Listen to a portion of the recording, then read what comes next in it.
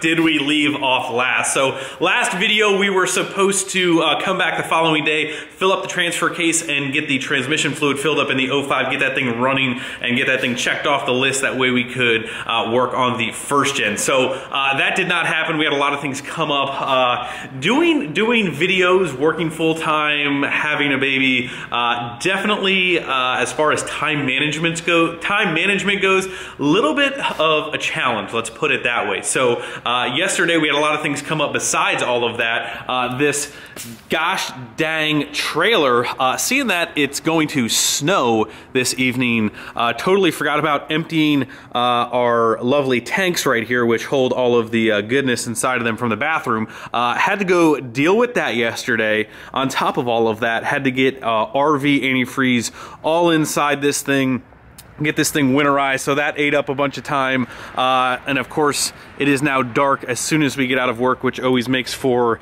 a fun time. So let me open this Larry up in here. Hey there's some lights. So as you can see we still have the danger in here. What we had to do is get uh, get that pink get that pink RV antifreeze all through the lines and stuff. So that's what we did yesterday. Very, very fun. So basically now we have to go back to where we left off and finish all of that up tonight um, and kind of restart this whole process. So uh, last and final call, last shameless plug of the Wrenchworkz winter launch. If you guys have not already headed over there, uh, we are gonna be shutting down that pre-order. Uh, by the Probably by the time you watch this, you probably have maybe like a 12, uh, 24 hour period before that is done. So if you guys want Christmas gifts, if you guys wanna get in on those jackets, all the sweatshirts are back in stock. Uh, go over there, head over there, get all of that stuff now because we aren't going to be reordering probably until probably until next year sometime. So everything that we have is what we have, and that is it. We're not gonna be restocking anything. So all of the sizes uh, are there. So that's it. That's the last I'm gonna mention that. All right, so now that that is out of the way, let's head over to the shop now that you know what I did and did not do yesterday. Uh, Reagan is over six months now, and she is finally, uh, you know, having a good time, recognizing you, recognize your voice. So uh, really enjoying uh, my, not that I didn't enjoy it before, but um, just, you know, starting to kind of come into her own, which is, is really exciting. So I want to make sure I don't miss any of that being over at the shop, making these videos. Uh, like I mentioned in the beginning, it's a balance. I know most of you guys understand that. Um, so I know uh, the first gen progress uh, has definitely been a little slower, but that's okay. We are going to get it done. I can promise you guys that. So let's fire up the 08 here and get our butts over to the shop. New key tags, all right, so we have finally made it over to the shop this evening. Uh, I got two questions uh, that I read in the comments quite a bit. It was more than one person asking this question. So I want to address this. You guys know I always try to provide uh, some type of value to you guys, tips, tricks, uh, why we do things or why I do things a certain way. Uh, number one was as I was torquing the flywheel bolts on the back of the engine, how to stop the rotation of the engine as you torque them, seeing that they have a higher torque. So uh, yes, the, the compression of the engine will slow it down, but it still will turn it over. So you do need to stop the engine from spinning. So you can kind of do that uh, a couple different ways. Uh, the way that I always normally do it, so our fluid damper down there, and it's very hard to see. So uh, fluid damper has a what they call a full power kit. It actually looks very, very similar. I think I have one over here on the shelf. Don't mind the mess here. So our fleece barring tool, um, right here, right here, our fleece barring tool. This can actually go on the front of uh, most dampers, not an ATI, but a fluid damper, a stock damper, uh, it will. So basically with this on the front of the uh, crank, you can then put a, uh, a breaker bar in there and then kind of set that against the side of the frame or a full power kit uh, from Fluidampr themselves. Kind of looks similar to this, but it has a 16 millimeter head uh, right in the middle. So again, same concept, breaker bar with a socket right on the front of the crank. You have enough room underneath there to put a breaker bar on there while you're torquing down there. That does help quite a bit uh, with holding everything in place as you're torquing the flywheel. So that was the first question. The second question was about me talking about the transmission fluid. So uh, I did mention that we run Dex Merc in the trans and then a plus four uh, in the T case. So this is actually from our man, Mr. Muldoon, and this actually came from uh, Mr. Levon himself from Firepunk is the main difference between ATF 4 versus Dex Merc 3 is the amount of friction modifier in the fluid.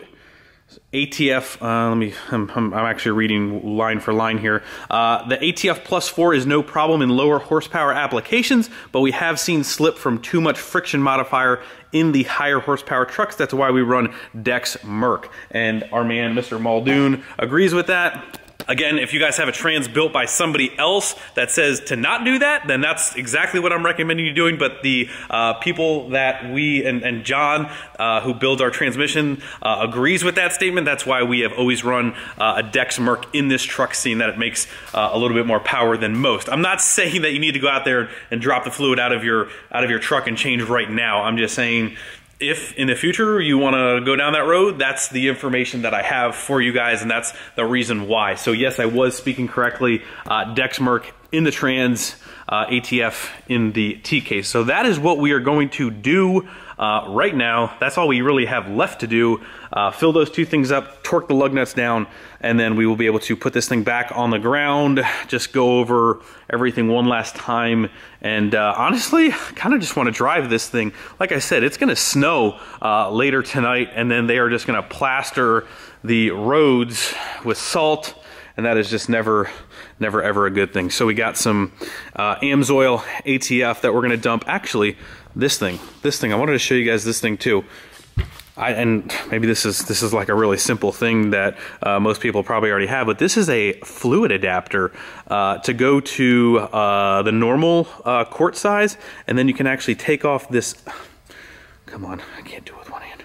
Okay, there, with the white adapter off, you can see it actually has uh, a bigger thread adapter for uh, the bigger cans. And then it looks like this little magic piece right here spins down and you can block the flow. That way, if you're mid-bottle, you can uh, you can stop the. Of course, I can't do this. Let me put this down. Boom, boom. Look at that. That that's pretty cool. I've I was at the store and I'm like, man, that's pretty cool. I don't have one of those. I think we should do that. Oh, look at that trans fluid gear oil spout. I'll try and find this online and put a link down below. If you guys are interested in this, I will try and find a link and put it down below. But that's all the info that I got for you guys this evening. We need to start working on this and make sure that we are good for this weekend.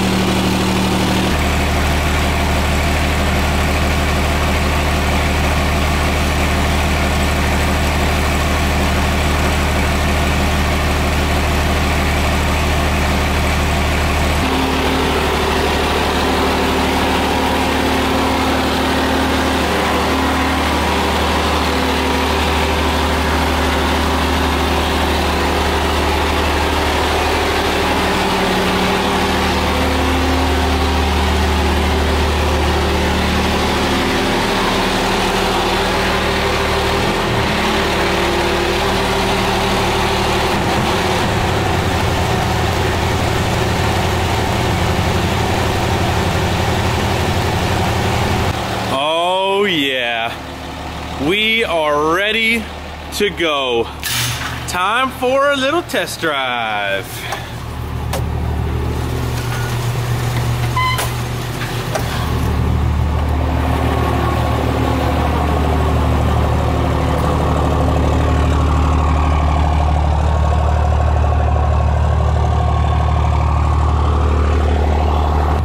so we are gonna go for a little test drive here. We've been checking the transmission fluid, got her in manual mode. Trans temp is coming up. Engine's warm. I don't know how accurate that is, but it is definitely cold. So let's go make sure everything is working as it should. But first, let's buckle up for safety because we're gonna need that.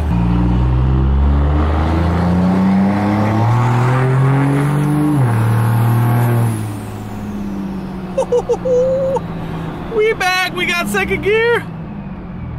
All right, so per not wanting to screech the tires, we are only gonna go into first gear at a complete stop.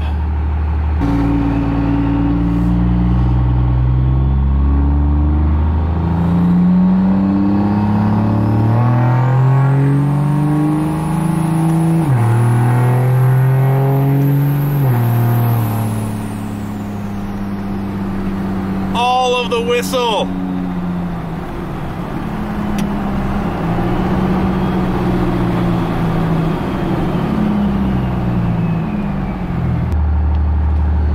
All right, this is what 0% looks like at nighttime.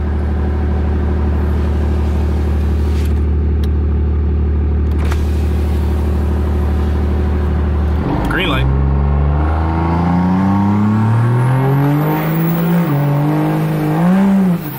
Woohoo!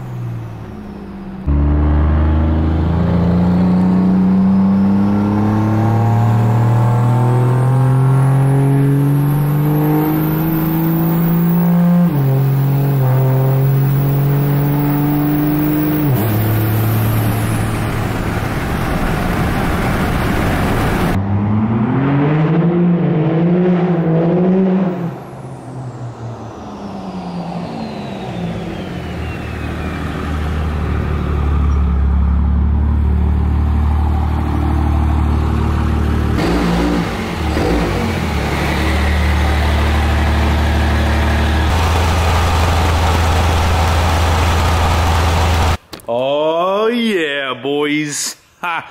Let me shut off the lights. Yes, this thing. Woo! I'm so pumped. I am, man, I am so glad. It hurt my heart to have my baby down.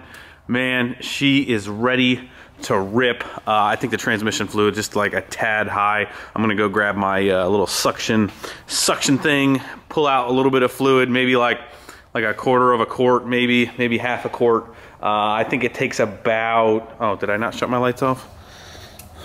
Maybe, maybe not. Uh, I think it takes. I have about 19 in there now. Uh, so I believe it takes about 18, 18 and a half maybe. Uh, I did want to get the transmission fluid warm. Uh, transmission fluid is always a little tricky uh, to get right. You really got to like babysit it for a while if you don't do it every day. But uh, we're back. I'm so excited. Uh, she's dirty, very dirty, but she needs, ooh, man, I'm speechless. This thing, this thing is a beast. Let me tell you. I, with the bigger, we've never dynoed with the bigger turbo on it. So that's what I am very curious. Uh, if you go by mile an hour in times, this thing has got to be pretty close to about a thousand.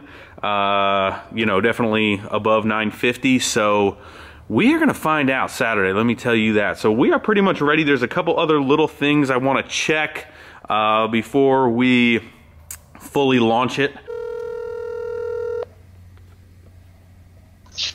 What do you want? It's nine o'clock. I gotta go to bed. God damn it! Are you sleeping? Hell no, I'm not sleeping. The I- just went to sleep. You're you're back out in the shop. No, I'm actually taking the night off. I worked earlier. Hey, this conversation is being recorded for tomorrow's video, by the way. assurance. What? Quality assurance. There's no quality assurance with you, let me tell you that. hey, uh, if if I get these pipes made tomorrow morning, are you busy tomorrow night? I'm real busy for the next six months. Get, that is not. You can't do me like that.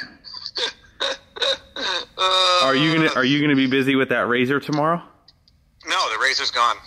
And you already. Left here. Oh, if I get these pipes made up, can I trade some labor for you to weld them up, or you don't even have time for it? You can tell me. I don't care. Yeah, want to swing by in the later afternoon, evening with them? That's fine. Well, I should be able to knock out the pipes early, early tomorrow, and then I can help you as soon as you get home, give you an extra hand, and then we could do it after. Yeah. All right. So it's all hinging on me getting these things tacked up. what is this? The uh, intercooler pipe? Yeah. That's only going to be one or two welds around, right? It should really maybe be a max of like four tops, uh, just three inch round pipe. Yeah, that'll go real fast. Yeah, so it shouldn't be it shouldn't be too half bad. of the welding I did on the uh, charge pipes. Don't make me come over there and do it for you. No, that'd be that'd be great. I'll give you a key.